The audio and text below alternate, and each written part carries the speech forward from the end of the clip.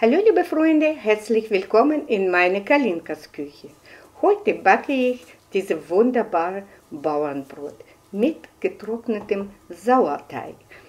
Backe ich heute auf Wunsch von meiner Zuschauerin, welche hat mich mal gefragt, ob ich schon mit gekauftem Sauerteig gebacken. Nein, habe ich nicht, aber heute habe ich das ausprobiert und es ist ein volles, geschmackvolles ein sehr gutes Brot geworden und kann nur empfehlen, euch ausprobieren. Viel Spaß beim Video anschauen.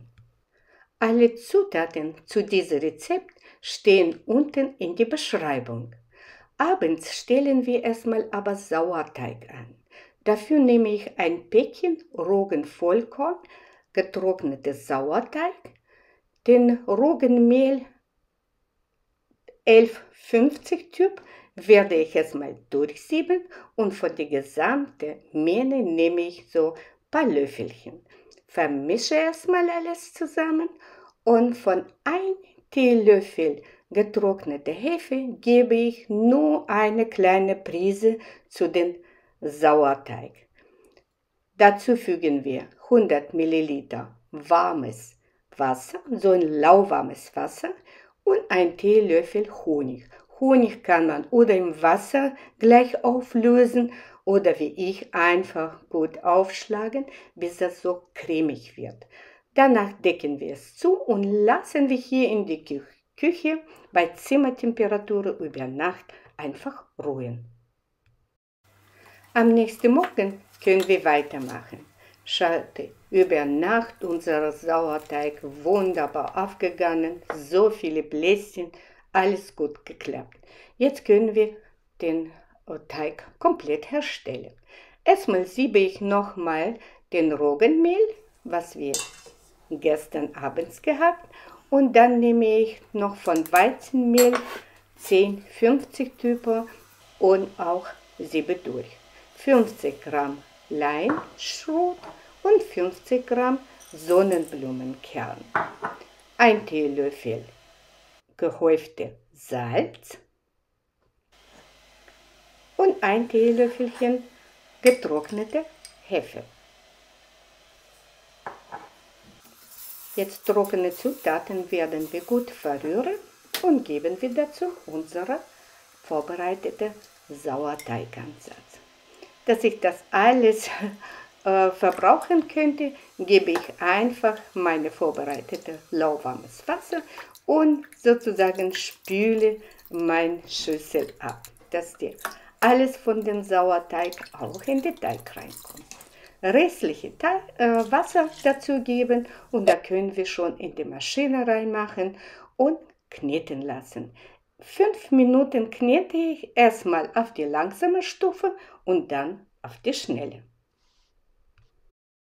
Nach fünf Minuten können wir unsere Maschine ausmachen und zwischendurch habe ich einmal von der Wand den Teig runtergemacht zum Mitte.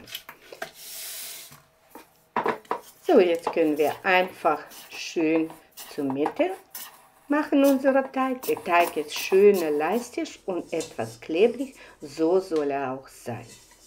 Es ist wirklich ein sehr schöner Teig und schön mit ihm zu arbeiten.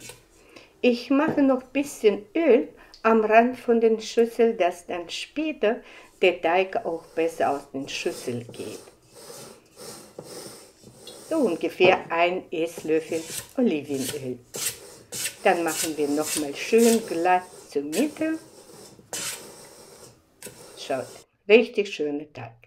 Deckel drauf und lassen wir an dem warmen Ort aufgehen, dass es sich doppelt vergrößert. Nach einer halben Stunde sieht mein Teig so aus. Richtig schön gut aufgegangen. Jetzt holen wir den Teig aus der Schüssel raus und werden wir ihn auch gut durchkneten. Erstmal falte ich und dann knete ich durch.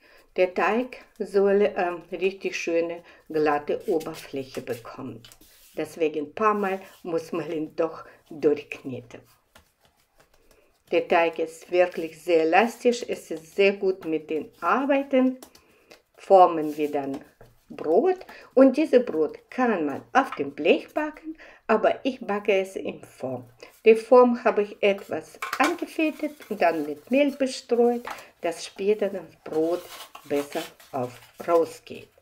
Decken wir mit einer Folie zu. Die Folie von einer Seite habe ich ein bisschen angeölt, dass es nicht so stark klebt an den Teig.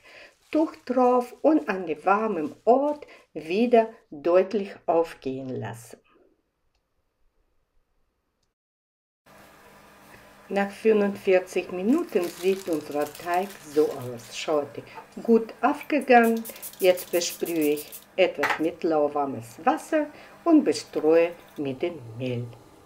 Danach schneiden wir noch ein bisschen Brot ein und geht unser Brot bei 180 Grad Ober-Unterhitze ungefähr so für 45 bis eine Stunde backen. Es kommt nach Art jedes Ofen.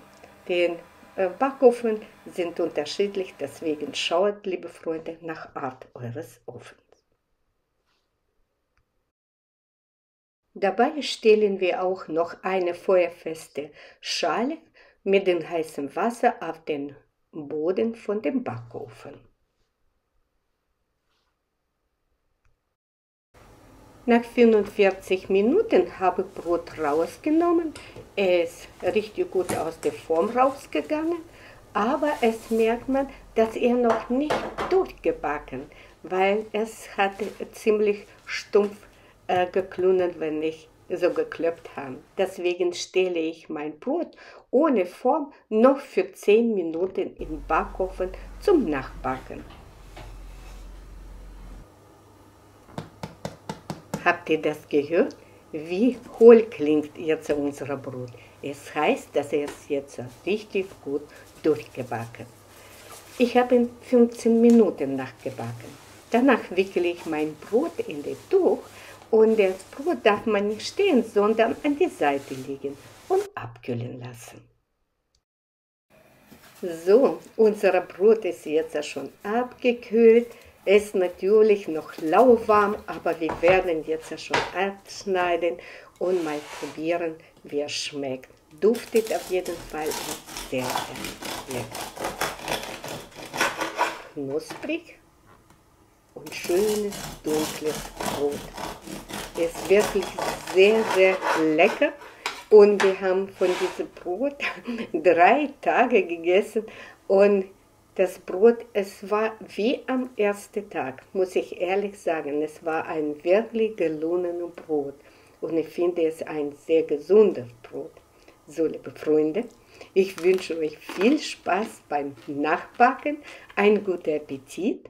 Und für meine Zuschauer habe ich jetzt das Brot mit dem getrockneten, gekauften Sauerteig getestet und es ist wirklich sehr, sehr, sehr gut gelungen. Ich bin sehr zufrieden. Freue mich auf eure Kommentare und bis zum nächsten Mal. Tschüss.